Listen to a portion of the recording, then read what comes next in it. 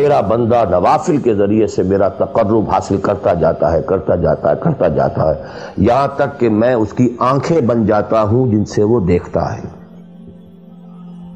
उसके कान बन जाता हूँ जिनसे वो सुनता है। उसके हाथ बन जाता हूँ जिनसे वो पकड़ता है। उसके पाँव बन जाता हूँ जिनसे वो चलता है। हदीस कुदसी और सारे वहाबी भी मानते हैं इसको। यह ना समझिए कि ये किसी सूफी की बढ़ है। हदीस उन सही हूँ इन दकुल मुहदसिन अल्लाह हाथ बन जाता है आपका। अल्लाह पाँव बनता है आपका। अल्लाह आँख बनता है आपकी। अल्लाह कान बनता है ये बहुत ऊँची बात है, बहुत ऊँची बात है, बहुत ऊँची बात है। लेकिन ये तकर्रब बिन नवाफिल का दर्जा कहाँ आएगा? जहाँ आप एक इस्लामी निज़ाम के तहत सांस ले रहे हैं। जहाँ वो इस्लामी निज़ाम नहीं है, पहला फ़र्ज़ तन मन धन उस निज़ाम को बदलने के लिए लगा देना। अगर ये नहीं है तो नमाज़ नमाज़ नहीं है, मुँह पर दे मारी जाएगी। मैं जो कुछ कह रहा हूँ अला वजिल बसीरत कह रहा हूँ। मेरी पूरी ज़िंदगी के मुताले का निचोड़ है। नमाज़ मुँह पर दे मारी जाएगी रोज़े मुँह पर दे मारे जाएँगे you reconcile yourself to that system जो मेरी बगावत के ऊपर मबनी था।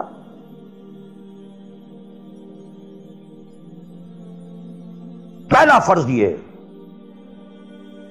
तन, मन, धन। You can not reconcile with that system you can not accept that system उसमें अपने आप को एकोमोडेट करना, उसमें अच्छे कैरियर तलाश करना, उसमें अच्छी जायदाद बनाना, उसमें पैसा जमा करना, उसमें अच्छी से अच्छी बच्चों को एजुकेशन जाके बेहतर से बेहतर ज़िंदगी वो भी गुजार सकें। सब का सब हराम, मुतलकन हराम। पहला काम यह है, अपनी जान, अपना माल, अपना तन अपना धन। सब अल्लाह के दीन के लिए खर्च करो। सब सिस्टम्स लेवल के ऊपर सिर्फ़ जान को बाकी रखने के लिए जो नागुजीर है that is allowed nothing more this is the point crucial point अब हमारे सामने हदीसें होती हैं और सारे फजाइल की किताबें हैं और ये हैं, जिनका ताल्लुक उस माहौल से था जबकि दीन कायम हो चुका था। उस कॉन्टेक्स्ट में बातें हो रही नफल की बात हो रही है तो और क़यामुल्लैल की बात हो रही है, और जो है ख़त्म कुरान की बात हो रही है, और अगर फजर के बाद बैठे रहे मुसल्ले पर, और दो रकत पढ़कर उठे जबकि सूरज निकल चुका है तो अब ये इतना ऊँचा सवाल, ये सारी बातें। All these things become absolutely irrelevant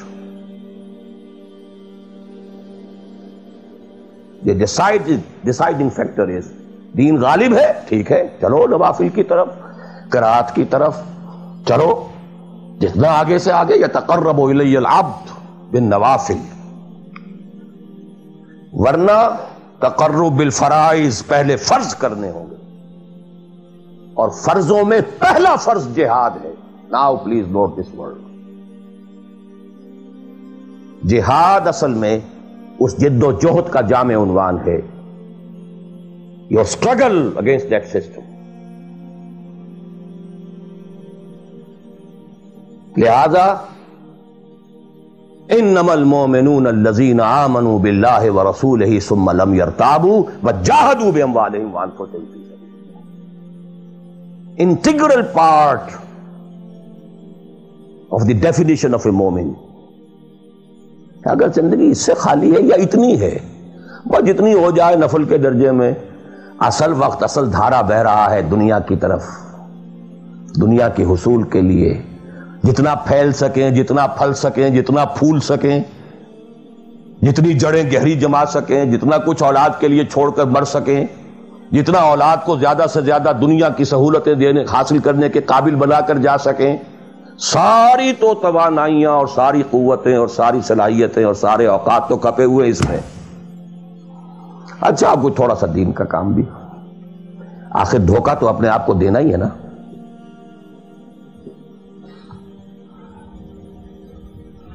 किस्मत फरोश औरतें भी तो काले कपड़े पहन के जुलूस में निकलती हैं ताजियों के। और सबीलें लगाती हैं और मस्जिदें बनाती हैं। They have to receive themselves डाकू लोग देहात सफाक यतीमों और बेवाओं की सरपरस्ती करते थे। हमारे माशरे में जो बस्ता, अलिफ बस्ता, बे के गुंडे होते हैं, उनके यहाँ भी नेकी का, पुन का, खैर का खाता होता है। इसी तरह कुछ मजहबी एक्टिविटी है। असल शय ये है, किस माहौल में रह रहे हैं। बहुत खुशकिस्मत होता मैं और आप। फिर आप अच्छे से अच्छा पहनते, कोई एतराज़ नहीं। अच्छे से अच्छा खाते। कुल मन हर रमजीनत अल्लाह अखरज ही वबात मिन रिस्क खिलाफत राशदा में आप रह रहे हैं, आप हलाल ज़रिए से कमा रहे हैं।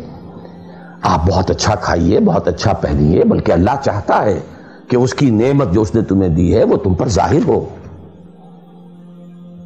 लेकिन प्लीज़, नोट द कॉन्टेक्स्ट। दीन मगलूब हो और आप अच्छा पहनने और अच्छे खाने की फ़िक्र में हो। मुझे जुमला याद आ रहा है हज़रत अबू बकर का रज़ी अल्लाह तन थोड़ा सा मसला हुआ था कि लोगों ने कहा कि जक़ात हम देंगे, लेकिन जक़ात रियासत को नहीं देंगे, अपने तौर पर खर्च करेंगे। हज़रत अबू बकर ने फैसला किया उनके खिलाफ जंग का। हज़रत उमर जैसी शख्सियत भी मशवरा दे रही है कि देखें नहीं, दो फ्रंट पहले हमने खोले हुए हैं। जैसे उसामा को भी आपने रोका नहीं जाए हुजूर ने तैयार किया था। फिर जो मुर्तदी हो गए, किसी और को नबी मान लिया, उनके खिलाफ तो जंग करनी ही करनी है, लेकिन ये तो सिर्फ़ नमाज़ भी पढ़ रहे हैं, और ये जक़ात का भी इनकार नहीं कर रहे हैं, सिर्फ़ हमें नहीं दे रहे हैं। तो इनके साथ जरा मसलहत का तकाजा ये है कि कुछ नरमी की जाए। उनके बड़े प्यारे अल्फाज थे अयुबद्दीन वाना हाई या दीन में तगैर किया जाएगा, जबकि अभी मैं ज़िंदा हूँ? खुदा की कसम अगर ये हजूर के जमाने में जक़ात के ऊंटों के साथ उनके बांधने वाली रस्सी भी देते थे। और अब अगर ये कहेंगे कि ऊँट ले जाओ, रस्सी नहीं देंगे, तब भी मैं कताल करूँगा और खुदा की कसम कोई मेरा साथ नहीं देगा तो मैं अकेला जाऊँगा। और है उबर तुम्हें क्या हो गया? तुम जाहलीत में तो बड़े सख्त थे। इस्लाम में आकर तुम नर्म हो गए हो। ये डांट अबू बकर पिला रहे हैं उमर को रज़ी अल्लाह तला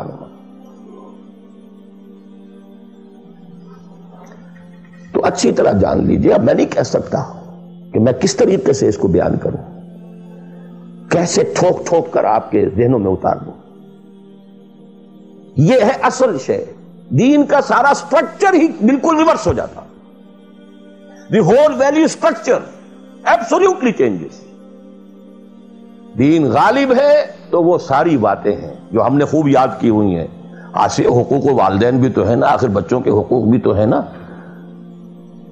ये हकूक वालदेन जो है, उन महाजरीन को याद नहीं आए जो अपने माँ बाप को छोड़कर मदीने पहुँच गए थे। ये औलाद के हकूक उन्हें याद नहीं आए, बीवियों के हकूक याद नहीं आए। वो तो फेनेटिक्स थे ना, पागल थे ना। मदीने के मुनाफिकीन ने उन्हें सुफहा कहा था, बेवकूफ़ लोग हैं ये। अनोमिनो कमा आमना सुफहा। दिस फूल्स दिस फेनेटिक्स ये सारी हदीसें आपको याद हैं?